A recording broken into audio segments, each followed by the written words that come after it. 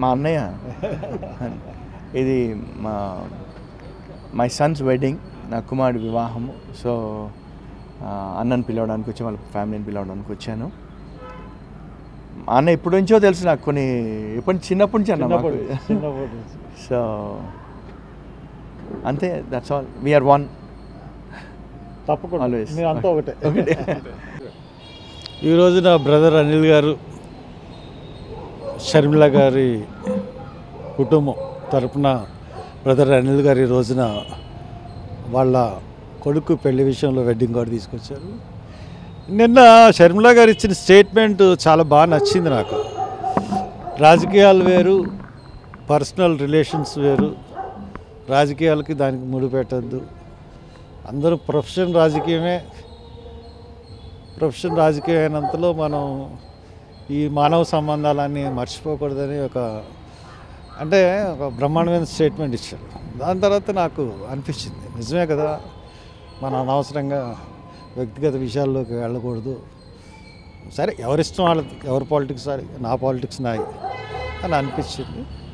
అందుకనే బ్రదర్ అనిల్ గారు అంటే నాకు ఇప్పటి నుంచి కాదు చాలా ఎప్పటి నుంచో తెలుసు. వీళ్ళు పెళ్ళి కాకముందు నుంచి కూడా నాకు తెలుసు.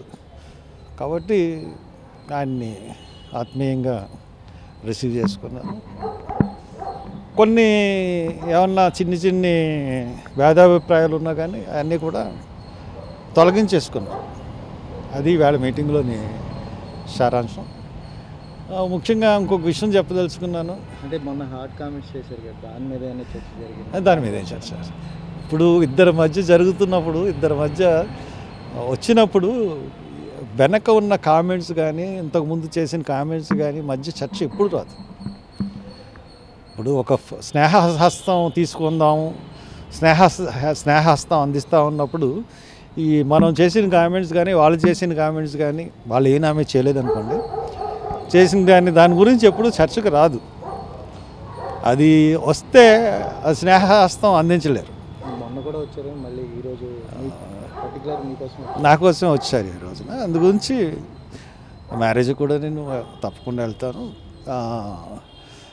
ఇది మంచి భేదాభిప్రాయాలు పోగొట్టుకోవడానికి ఒక మంచి అవకాశం అయింది. అండ్ దెన్ అనదర్ థింగ్ నేను చెప్పదలుచుకున్నది మీకు ఈ రోజున ఒక విషయం చెప్పదలుచుకున్నాను. రేపు ఇరవైనో ఇరవై ఒకటినో ఇరవైన అనుకుంటా?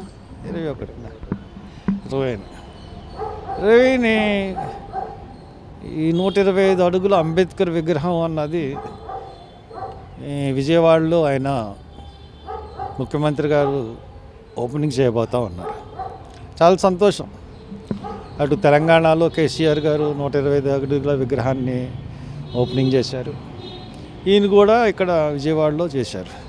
కానీ వీళ్ళిద్దరూ కూడా జనరల్ బడ్జెట్ ఫండ్స్తో చేయలేదు.